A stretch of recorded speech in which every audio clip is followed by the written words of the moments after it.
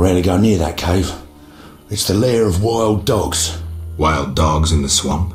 And the hounds feed on carrion, though they rarely scorn fresh meat. I heard them howl at night as they hunt in packs. I had a bad dog experience recently.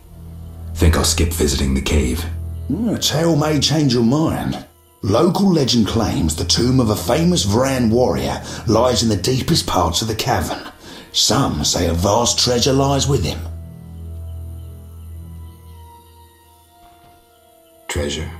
Folks tell the strangest tales, all varying, save for one point. What's that? All who sought the treasure vanished.